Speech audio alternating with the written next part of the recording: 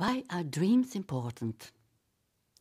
Dreams are a fruitful way of sensing what's going on in your life or what wants to come into your awareness. During the night, your body continues to process many experiences you had during the day.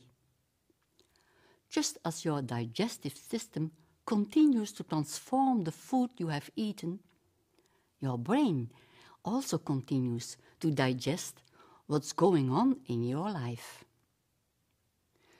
Your conscious brain may not have noticed how something has affected you, but your body has noticed what happened. This also applies to experiences from the past. You might want to forget what happened, but your body remembers and keeps the experience alive until you take the time to listen. Even the future is present in your dreams. Your potential to develop strength or change something in your life may be revealed by your dreams. A dream can also point to deeper longings. The images may invite you to look at situations in a different way.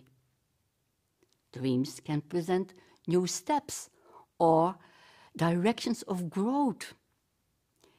That's often in images that seem bad or negative at first sight when you approach the dream with your usual way of thinking. Then you cannot make sense of the experience and you may even feel threatened. But these dreams are often suggestions of a different approach or they offer sometimes a solution. Like fairy tales, dreams are metaphorical. The images point to something, they are not that thing. Dreams use a language which is dramatic and flamboyant.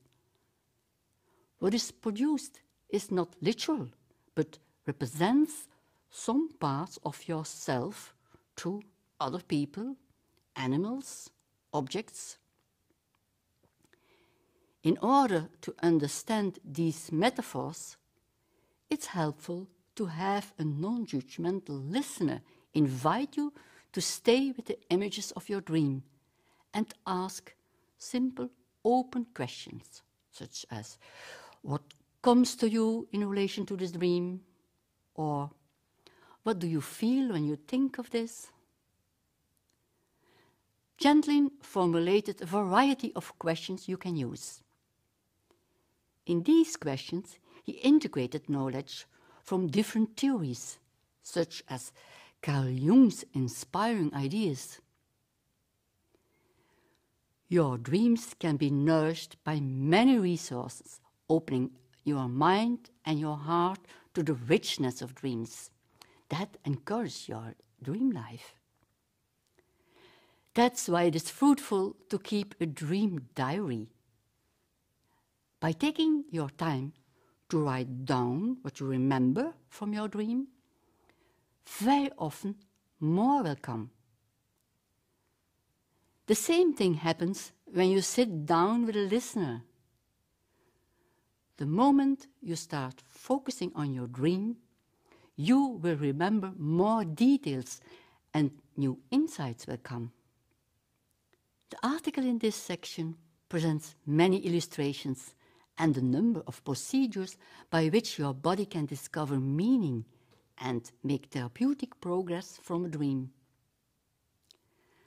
Let that just be the start of your discoveries in the fascinating landscape of dreams.